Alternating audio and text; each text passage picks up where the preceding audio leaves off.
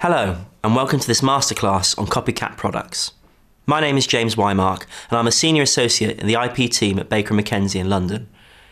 I specialise in all areas of IP enforcement, including trademarks, designs, and passing off, with a particular focus on brand protection. Today I'll be talking to you about lookalike products and the problems they pose for brand owners, and in particular looking at whether there are registered or unregistered rights that can be relied upon, how to use survey or other evidence to back up those rights, and where the law may be going in the future.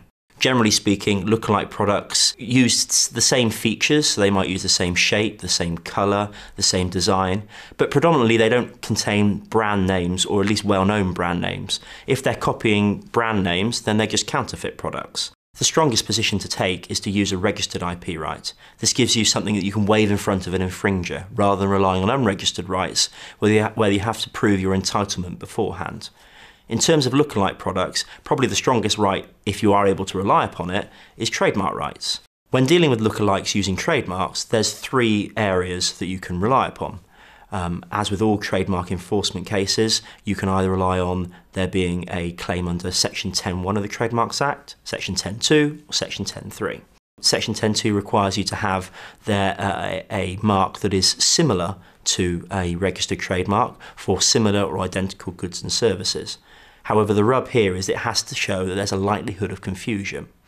And with lookalike products, that tends to be an area again where brand holders fall down because often consumers aren't confused. They know they're buying a cheaper lookalike product. Section 10.3, if you can get within it, is a very strong right and gives you a lot of power against lookalike products. However, there's a, an initial prerequisite which often means that you can't get that to that level. You need to have a mark with a reputation. A good example of um, the application of Section 10.3 was the recent Specsavers and Asda case. It was clear that it was an Asda promotion and nobody was confused. However, the court nevertheless found that there was an infringement because they said that Specsaver was so well known that people would think there'd be some sort of link so for community harmonized designs, the key features are that it covers 2D and 3D designs, that it um, covers surface decoration, which is a strong application for lookalike products. Um, and in terms of showing infringement, the key test is to show whether the lookalike product gives the same or a different overall impression to the informed user. If no registered rights are available, then obviously unregistered rights are your fallback. And this is not an uncommon position. Lots of brand holders forget to register things, or as we've discussed, don't realise that it's necessary to register them.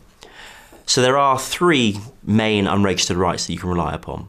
There are equivalent unfair competition rights around Europe, but for UK, passing off is really what's relied upon if there's no registered rights available. Penguin was the well-known product, Puffin was the lookalike produced by Asda, and in that case, the court said that there was a passing off, they tried to live dangerously and they just gone the wrong side of the line.